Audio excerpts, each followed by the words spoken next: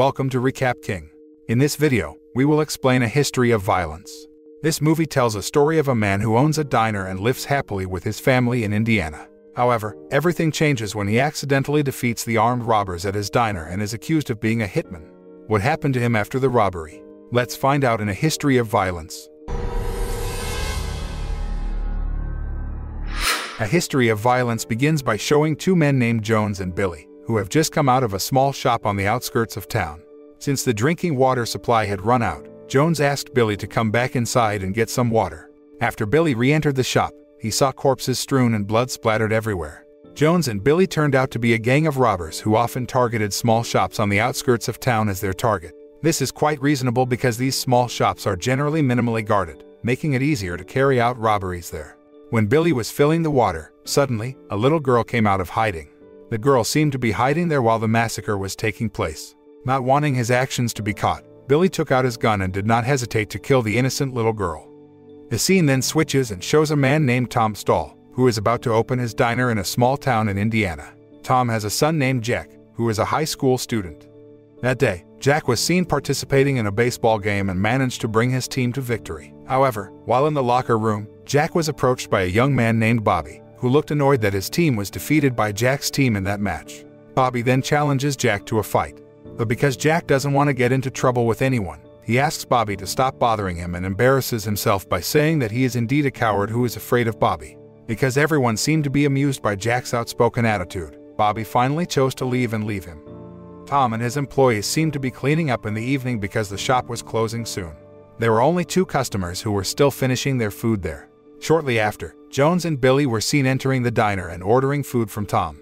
Tom then politely told the two men that they were no longer serving any orders because the shop was closing soon. Hearing this, Jones looked irritated and immediately snapped at Tom. Not wanting any trouble at his diner, Tom relented and served them. Tom then told his waitress to go home first because it was late. However, when the woman headed for the door and was about to leave, Billy immediately stood up and blocked her, then treated her harshly. It didn't stop there. Jones then pulled out his gun and threatened Tom to hand over all the money. Tom did not then just stay silent. He can easily immobilize Jones and Billy with one quick move, although his leg is injured from a knife stab. Everyone who witnessed Tom's actions was suddenly shocked because they did not expect that Tom, who looks ordinary and always polite and friendly to others, could beat criminals like a professional killer. After that incident, all local and international media reported on Tom's heroic actions and considered Tom a real hero because he was able to defeat a gang of ruthless robbers alone. Tom's wife, Eddie, then picked up Tom at the hospital to take him home. People seemed to have gathered outside the hospital and greeted Tom as a hero. Even when he was home, several reporters were there to interview Tom, but he politely asked them to leave and said that the action was normal and anyone could do it. When Tom entered the house, Jack welcomed his father proudly because he had now become a hero. Meanwhile, Eddie looked out the window and saw a black car parked not far from their house. She thought they were the media crew who wanted to interview her husband and didn't care much about it.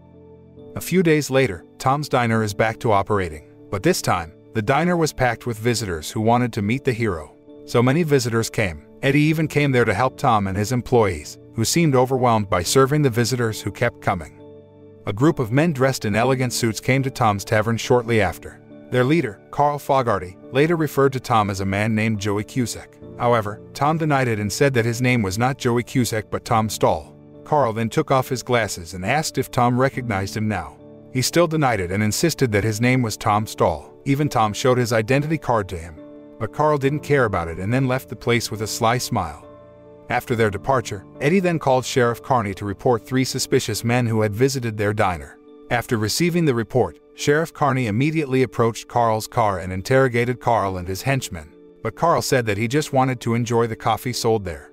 After that, Sheriff Carney met Tom and Eddie at their house and told them that Carl was a crime boss from Philadelphia notorious for being very ruthless in carrying out their criminal acts. Even so, Carl and his henchmen always escape prison because they have a lot of money. Sheriff Carney then asks Tom if he has a problem with Carl and his henchmen, but Tom then said that Carl thought he was Joey Cusack. Yet Tom didn't know anything about Joey Cusack. The next day, coinciding with Sunday, Tom decided to go to his diner to calm his mind because it was accidentally closed that day. While Tom was sipping his coffee thoughtfully, he saw Carl's car parked in front of his shop and watched him. Not long after, the car was gone from there. Tom, who thought that Carl would come to his house, then rushed out of the shop and called his wife as he ran to his house. Tom then asked his wife to take a shotgun on top of the cupboard in case Carl and his men attacked them. Long story short, Tom finally got home first. Eddie asked about what was really going on. Jack, having breakfast, looked very surprised because he had just found out that his father had a shotgun. A few days later, Eddie and her daughter, Sarah, visited a shopping center. However, when Eddie was busy shopping, Sarah suddenly disappeared.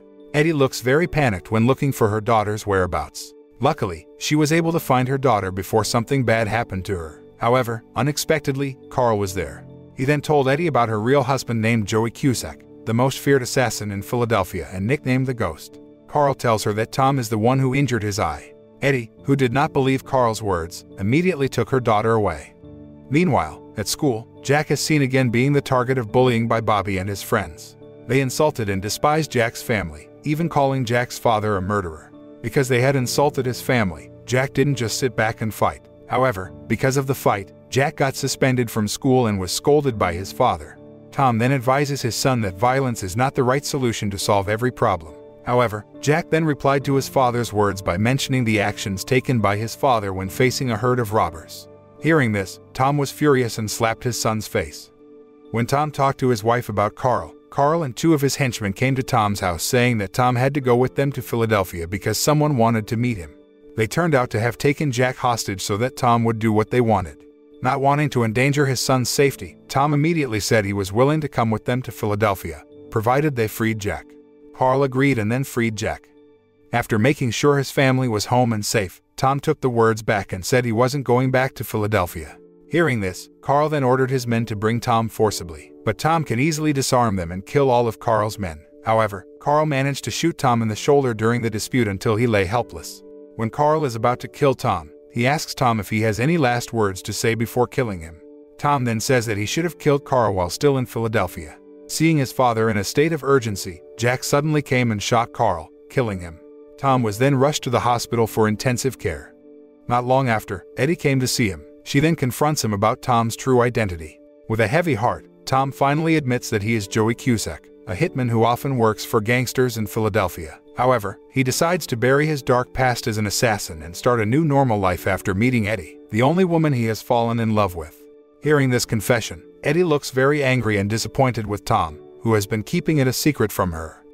After returning home, Tom becomes further isolated from his family and the community. Even Jack looks so disappointed in his father, who turns out to be a murderer.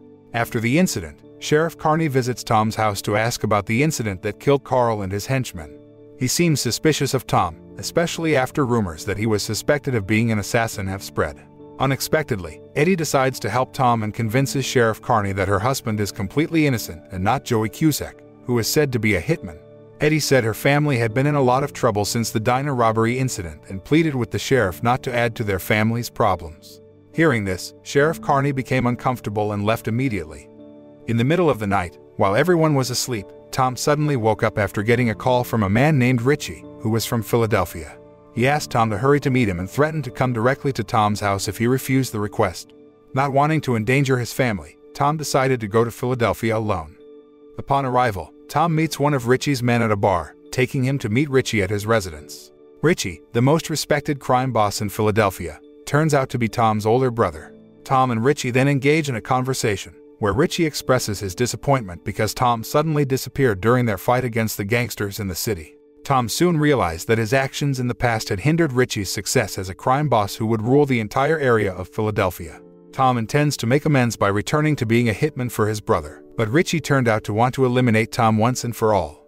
He then ordered all his men to kill Tom. However, Tom was not a worthy opponent for them. It didn't take long for Tom to finish off all Richie's men alone. When Tom was about to kill Richie, he seemed to want to say something, but Tom did not care and immediately killed him. After that, Tom immediately drove back to his home in Indiana. He finally got home while his wife and their children were getting ready for dinner. Jack began offering Tom food after a tense and awkward moment, and Eddie invited her husband to sit there with them, signaling Tom's acceptance back into their lives. The moral that can be learned from this movie is never to give up on repenting and leaving the dark past behind, because everyone has the right to start a new, better life to reach a bright future in front of their eyes.